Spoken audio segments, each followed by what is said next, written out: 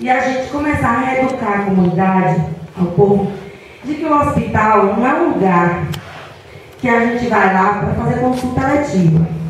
Eu sei, eu sabe, sempre soube que seria algo árduo, porque a gente sabe que a gente vem de uma cultura de vícios que será difícil tirar. Mas para eu fazer isso no hospital, eu teria primeiro que tratar bem a minha atenção básica, tá? Fazer com que os profissionais médicos realmente trabalhassem como se deve, tá? Por quê? Porque eu fui presidente do Conselho de Saúde e eu ficava indignada quando eu via médico é, trocar receita sem examinar paciente.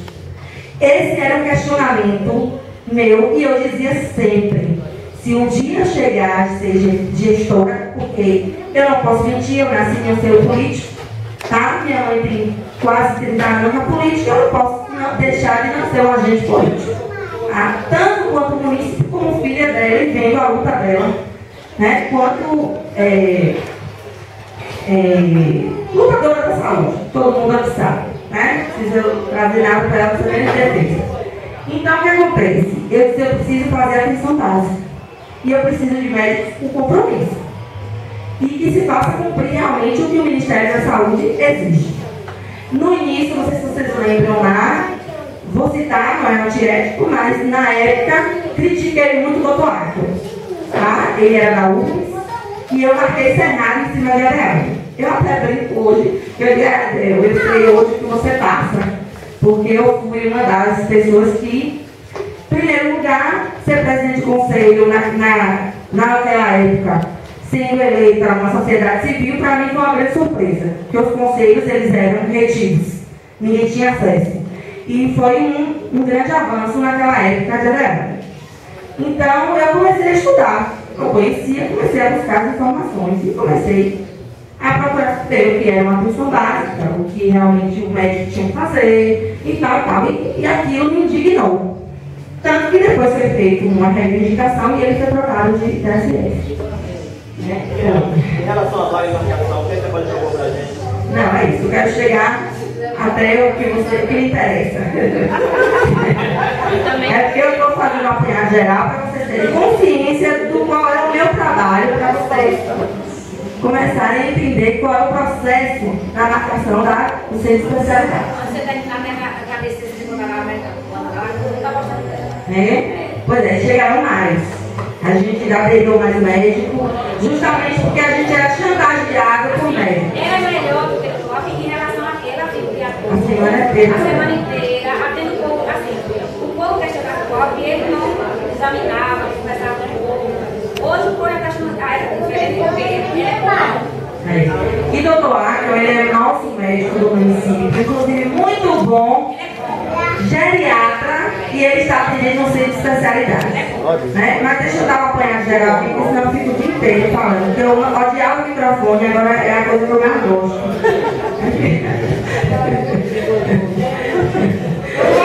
então, é, a gente começou a fazer a atenção básica, que é isso que eu queria, que as enfermeiras começassem a trabalhar com a comunidade, que eu quero estar perto da comunidade.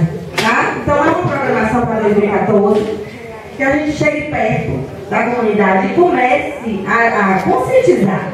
Então, se eu faço uma atenção básica, tá? Eu enxugo o meu hospital, que é urgência e emergência, tá? Eu tiro aquelas pessoas que, ah, eu vou lá de noite porque é mais tranquilo para eu abrir meu exame.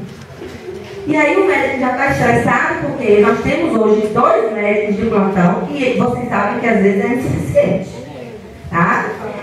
Não é o suficiente, porque se tiver uma urgência, né? Se tiver uma urgência, o outro está passando enfermaria, às vezes o ambulatório está cheio, porque a gente ainda sofre com isso.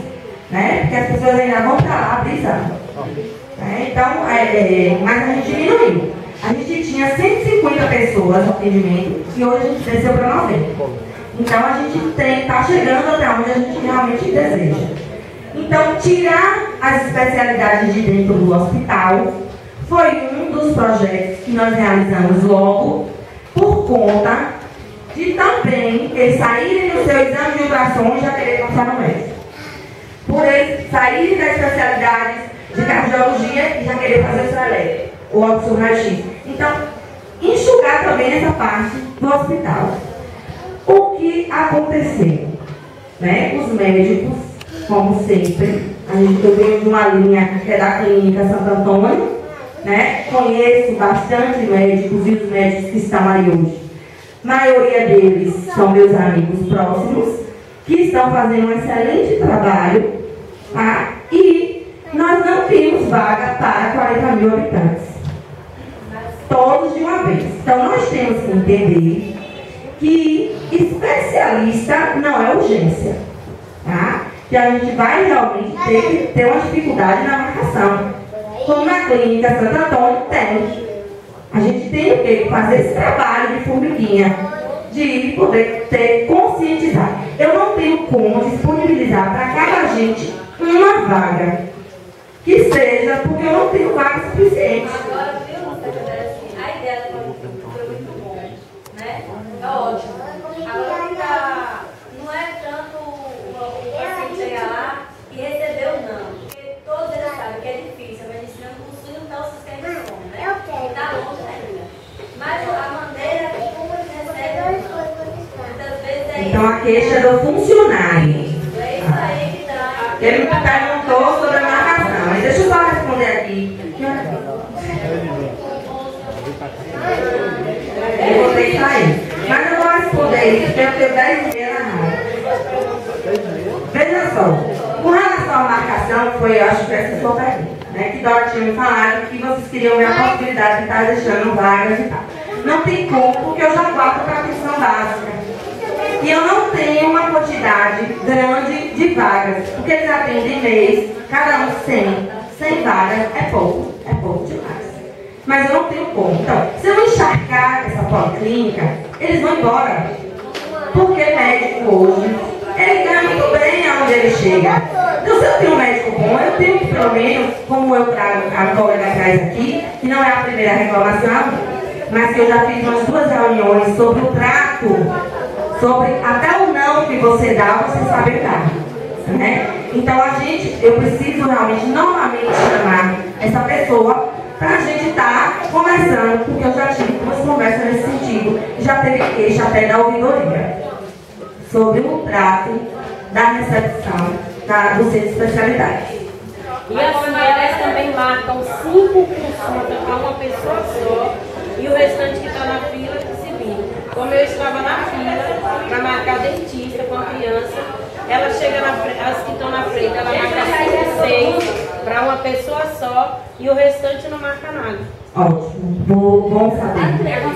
É, inclusive eu chamei Daniela e disse ela que Daniela, enfermeira, só tinha lá recepcionista, tá? E eu achei prudente colocar uma coordenação, porque eu não teria como assumir sozinha. Porque aí eu vou ter que ir para todos os lugares e aí eu não vou fazer gestão. Então eu disse para ela, tudo, eu ensinei a ela tudo que eu aprendi na clínica de Isabel. Eu disse a ela, querida, você vai ter que ter habilidade. E não é justo que uma pessoa pegue cinco fichas.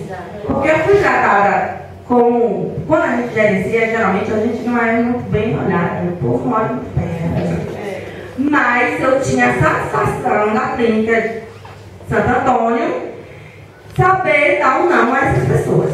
Né? Então, já foi questionado isso. Tá? Inclusive, se está pertinentemente acontecendo isso, eu vou ter que chamar novamente. Tem pouco tempo. Entendeu? Porque eu já disse a ela, uma ficha para cada pessoa. É o justo. Pois é, porque pelo menos quem está na fila não está perdendo. Marca para outras pessoas. assim, de pessoas. Uma, paciente foi marcar lá no Novo Hamburgo e falou assim, ah, tem que marcar para minha filha, mas deixa o RG dela para marcar o, o, o pediatra. Faltava 15 dias o pediatra, o RG da filha estava marcada já. Então, o casamento tem que respeitar. Principalmente pediatra, que nós perdemos o doutor Ivan, porque ele era concursado e ele pediu demissão. Ele estava com alguns problemas. E então, realmente eu vou rever novamente. E quando ela não marca, antes deixa no próprio caderno, que a, a pessoa viu, ela deixou duas vagas, ainda faltava duas vagas para ela marcar e ela não marcou. E ela disse que terminou. E quando eu perguntei a ela quem orientou a ela a marcar, fazer daquele jeito, cinco para um e nada para os outros, ela disse que foi a médica, que a médica disse, enquanto tivesse vaga, ela fosse marcando. Eu falei, mas você olhasse a fila de não está tão grande, se você marcasse duas três para cada um, e não cinco para um e o resto dos É mentira dela, porque médico nenhum gerencia marcação. Tá? É, médico nenhum gerencia marcação. Quem gerencia marcação é coordenação. Tá? E essa orientação fui eu que dei a ela. É isso aí que a gente falou uma vez aqui. Não foi bem visto para a gente marcar, não. O que a gente falou, acho que os colegas aqui estão é, lembrados, foi o direito da gente também ter acesso a é, especialista que a gente estava sem acesso. Como oftalmologia. Não, isso não é E vocês não são munícipes? Até hoje eu tô Teve, Eu teve. tenho mais de três meses que caminho para lá e não consigo voltar. Eu também. Até dormir na fila, eu já dormi. Ó, ó, é, realmente meu limite de horário já chegou, porque eu tenho compromisso na rádio. Não, eu faço o seguinte, no dia que eu vier aqui, semana que vem, eu trago Daniela, coordenadora da de especialidade. Porque eu gosto que a coisa aconteça assim. Eu costumo dizer nas minhas reuniões de coordenações que eu não me sinto em momento nenhum é, sendo acusada sozinha, porque eu não gerencio a saúde sozinha. Então, se eu sou convocada e sou questionada, nesse questionamento tem um coordenador, ele vem responder junto comigo, porque é ele que está na conta, não sou eu. Certo? Então, eu tenho que solucionar algumas coisas para evitar. Às vezes as pessoas me procuram, mas eu agora já estou as encaminhando para a ouvidoria. Porque eu acho que isso tem que ser documentado. Porque já houve reuniões, tá? Eu já fiz reuniões duas ou três vezes com elas, com esses, esses queixos que a comunidade me traz. Ainda bem que a comunidade. Certo? Pois é, não, não são vocês os primeiros.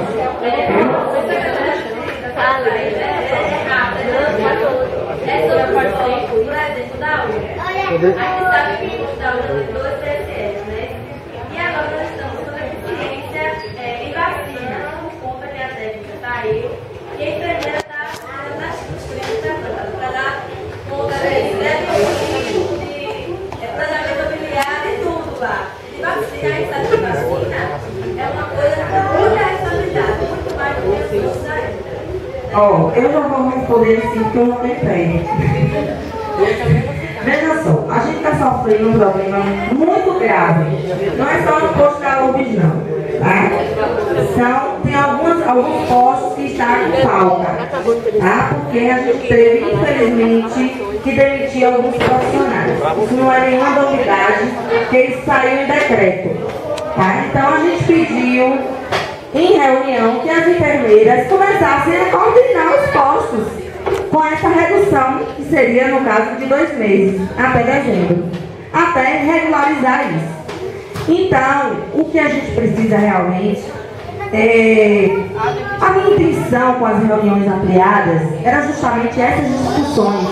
E eu não fui compreendida por alguns agentes, infelizmente tá? Infelizmente. Porque assim, eu não tenho como conseguir alimentação, como conseguir. Porque eu não trato do financeiro. Então eu tentei ajudar de uma forma e fui criticada por um agente, tá? Que postou em Facebook e pra mim ele não me disse nada. Tá? Pra mim ficou feio pra ele. Porque eu acho que esses momentos, inclusive, eu até perguntei a ele porque ele não estava aqui hoje, mas ele foi fazer exame. Então, é, esses momentos de reuniões ampliadas, a minha intenção foi trazer todos vocês, junto com as enfermeiras e toda a equipe, para a gente discutir isso. Porque não adianta discutir aqui com vocês o questionamento do posto de vocês se a enfermeira que está lá gerenciando o posto não está aqui. Porque quando ela se reúne comigo, está tudo muito bem, obrigado. Exatamente. Então, eu não tenho como discutir sem colocar elas em frente com vocês.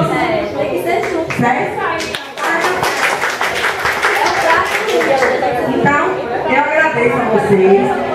E a minha intenção da reunião ampliada é colocar todo mundo olho no olho.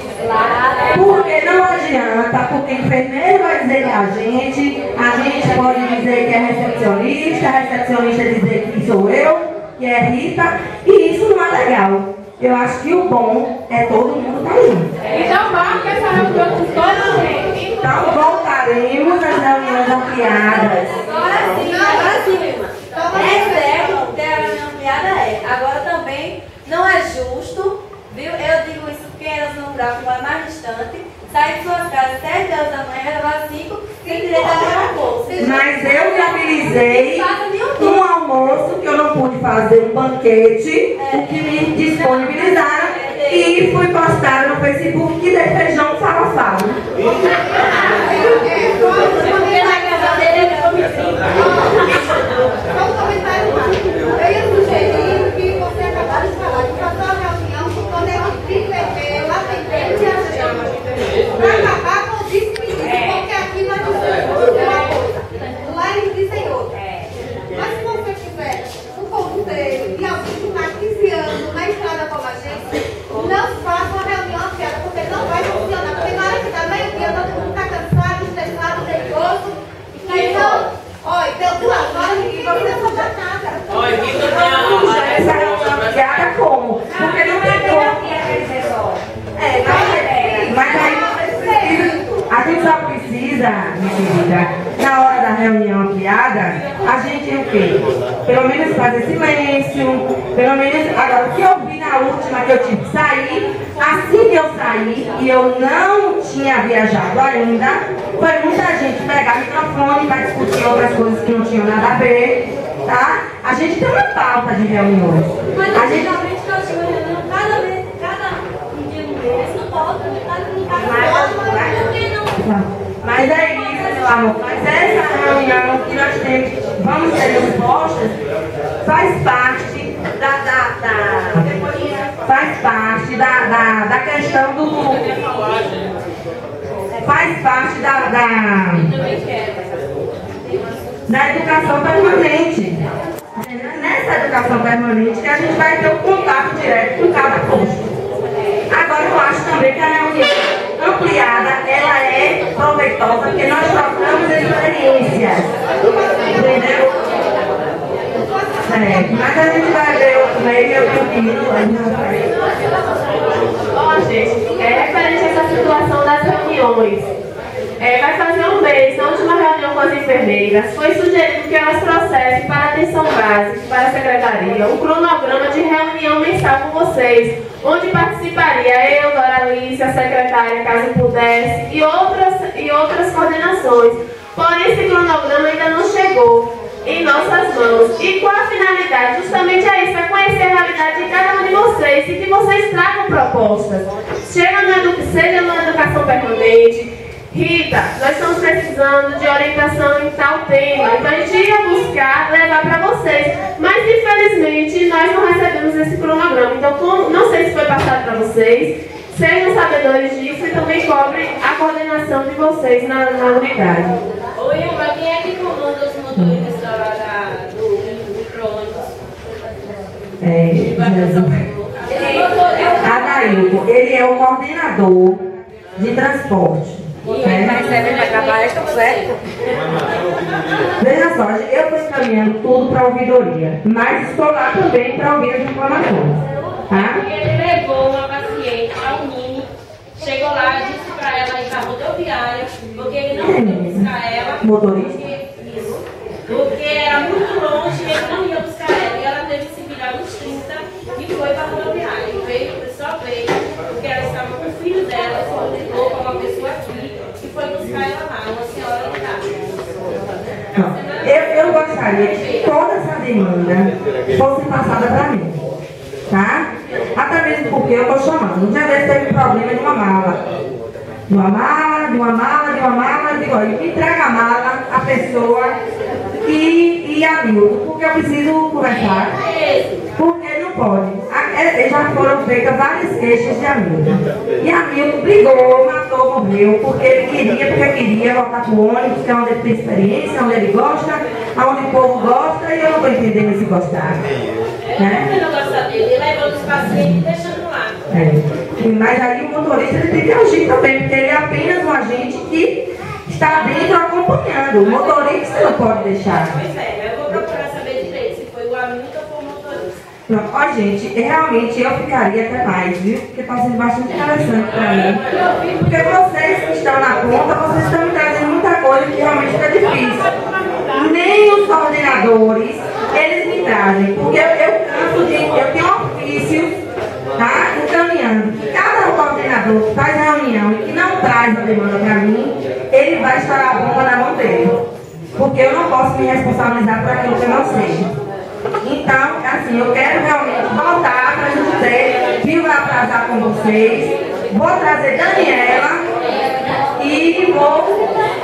A gente senta com Dona Alice para a gente rever essa questão, que eu acho que é mais importante, que é a questão de, das famílias, de dividir as famílias com vocês. Tá bom? Amanhã, Amanhã, amanhã eu vou com vocês lá na nossa palestra.